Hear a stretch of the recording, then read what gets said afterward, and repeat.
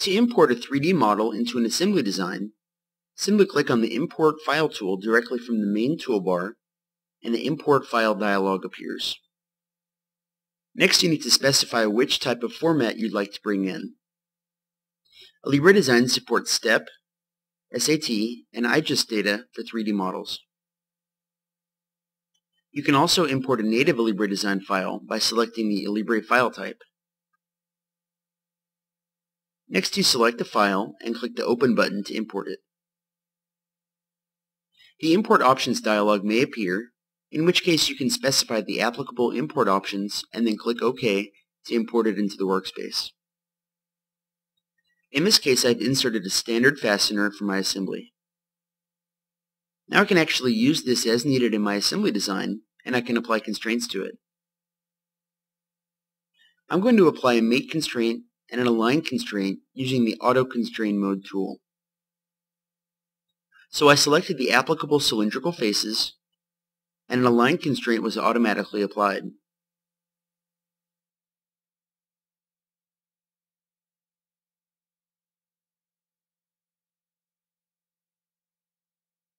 Next I'll select two planar faces on the design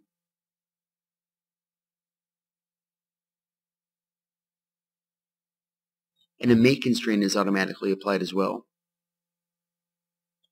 On a final note for this segment, I want to point out that you can calculate the physical properties of the entire assembly design.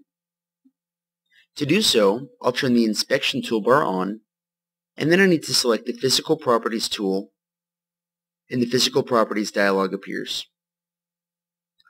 First, you need to specify the accuracy level that you're looking for.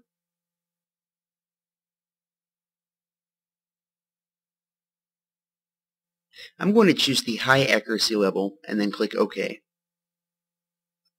The physical properties for the entire assembly design are displayed. So I can calculate the total volume and the total mass of my assembly. It's very important to note that the mass value in this case is based on the individual density values that you applied in each respective part workspace. So be sure to always set the correct density values for each part individually to get the correct property values for your assembly if you're interested in finding out physical properties of your design.